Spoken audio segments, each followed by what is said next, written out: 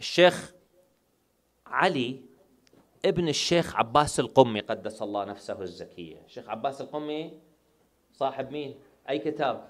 مفاتيح الجنان. عنده ابن كان صار شيخ. اسمه الشيخ الميرزا علي عباس القمي قدس الله نفسه الزكية. He also was a very pious person and he used to give lectures. خطيب كان. واعظا متعظا.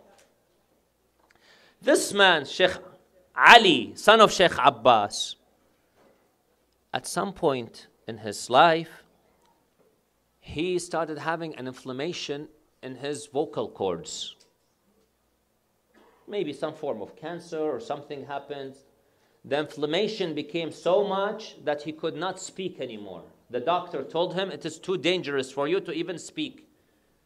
He couldn't speak. Before the holy month of Muharram, he started receiving invitations to come and lecture as every year, like every year. But he couldn't speak. He couldn't speak. So one night, he was sitting at his musalla. He prayed salat. And then he started communicating with Al Imam Al Hussein alayhi salam from his heart. And he was talking heart to heart conversation, as they say. He said, Ya Aba Abdullah, I've been serving you all these years.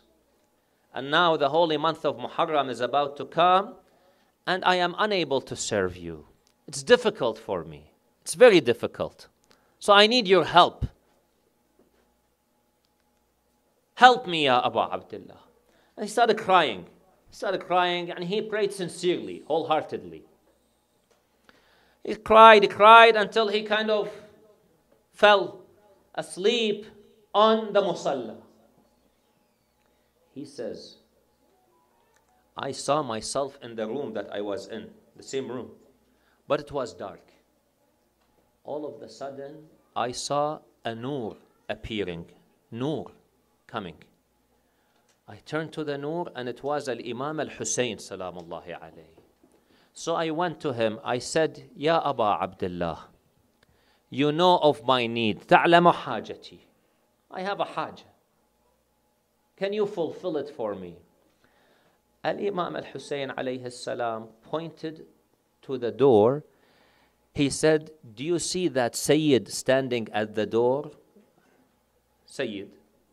He said, Go ask the Sayyid to read the musibah of my daughter Ruqayya. مصيبة ابنتي رقية. اطلب من هذا السيد قراءة هاي المصيبة. He says, I turned to the Sayyid. It turned out this Sayyid, as I approached him, he is my brother-in-law. زوج أختي. هذا السيد أعرفه. So I told him, I asked him, can you recite the musibah of Ruqayya? Salamullahi alayha. He said, he started reciting the musibah of As-Sayyida Ruqayya and I started crying. And Al-Imam Al-Hussein alayhi salam was crying. Because he was not in Alam al-Dunya when the tragedy of Ruqayya happened. So it touched him, salamullahi alayhi. It's painful to him, the loss of this little girl. Sheikh Ali says, I started crying and crying and crying while I'm sleeping until I was awakened by my daughters. My daughters came, they said, Father, wake up, what's the matter? You're crying in your sleep. What's going on? He said, I turned to them and I said, Why did you wake me? I was in the presence of Sayyid al-Shuhada'i alayhi salam. He was there. Why did you wake me? And then the daughter said, Father, you're talking. He was unable to speak. He used to use sign language when he talks to them because of his inflammation. They said, Father, you're talking. He said, Yes, I am. I gained my شفاء from الإمام الحسين صلوات الله وسلامه عليه الله صل على محمد وآل